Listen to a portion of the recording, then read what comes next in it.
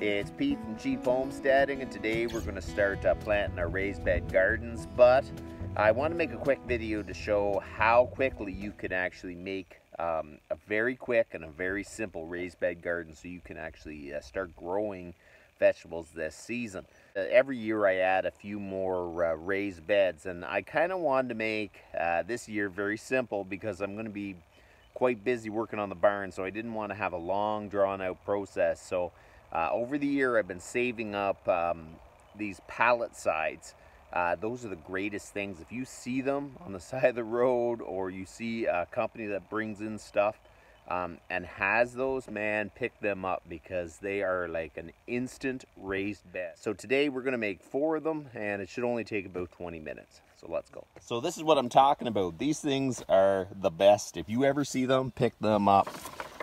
Um, they're basically they're basically sides uh, you put on your pallet to ship stuff. But when you set them down on the ground, they are an instant raised bed. Uh, they are just phenomenal. My goal is to put four of them here. Um, it'll add four more raised beds to my raised bed garden. And uh, you see my garlic here, uh, the cold weather set them back a little bit. It took a while for the ground to warm up. I hope the middle ones and the back ones pick up soon. But what I'm going to do is we're going to take some of the dirt that's in the older raised beds. We're going to start the new raised beds. So that's what I try to do every year. If I add any more raised beds, I take a little bit of the soil out of my older raised beds. Then I get a few buckets of uh, really rich um, mushroom compost to spread over all of them. Uh, you really need to um, amend the soil of raised beds because I find the first year they grow good, the second year they're just lacking uh, some oomph. So what I'm going to do is we're going to get some good solid mushroom compost, put them in all the raised beds. Then I'm probably going to have a good quality uh, organic fertilizer and we're going to try to uh, put it in the raised beds throughout the year just to give them a little bit of a boost. We'll start digging out the soil and then we'll start making the new raised beds.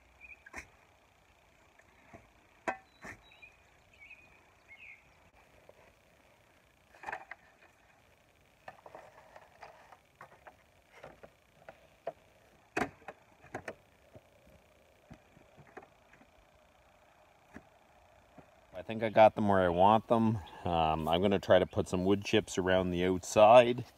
Uh, just keep the weeds down. It's done a pretty good job over here. Uh, but it's still coming through. I think I'll just keep uh, putting up some uh, uh, wood chips until hopefully the weeds stop or something. I don't want to spray anything.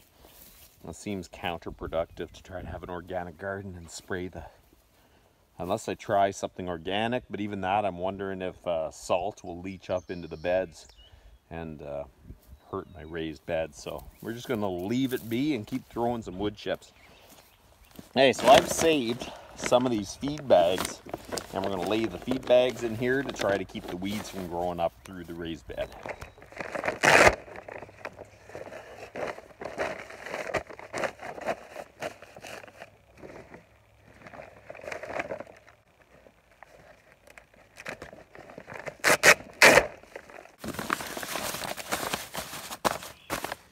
After you get the uh, bottom of the raised beds covered with some sort of material like cardboard or feed bags or whatever you have, uh, now we can throw the dirt in. And most of the weeds won't grow up through it. Uh, they still find some gaps here, but most of the time you don't have a lot of weeds growing up.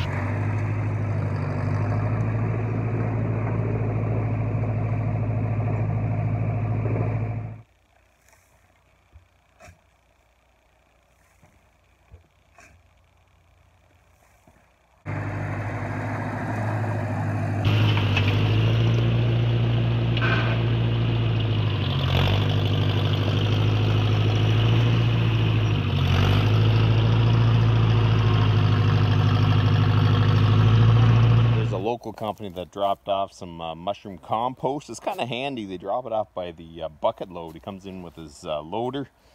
Um, I emptied out that one. I'm not emptying them out. I'm just bringing them down so I can actually put some fresh mushroom compost in all of them. I'm going to try to take some out of there, a little bit out of there, and a little bit out of there. And then we're just going to make sure that everything's uh, slightly heaped because it'll still go down a little bit anyways.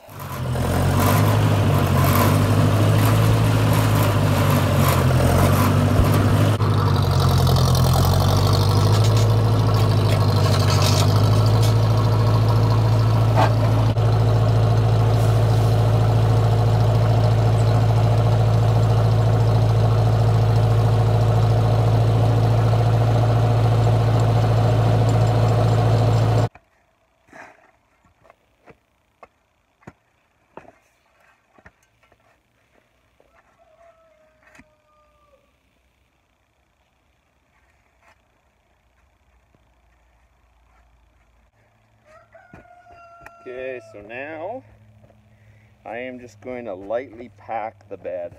If you don't do this, um, it's going to settle a lot and you won't have any dirt in your raised bed. So we got the raised beds filled up about three quarters and I packed it down just a little bit because if you don't pack it down, uh, it'll just settle like crazy and you won't have any dirt in your raised beds, which isn't good anyways. So what I'm going to do is fill up the rest of the way with mushroom compost and uh, when it settles down it'll probably end up uh, being about an inch from the top. Uh, but what we'll do is, I wouldn't say mound it, but it'll be pretty high. It'll fill the whole space of the raised bed.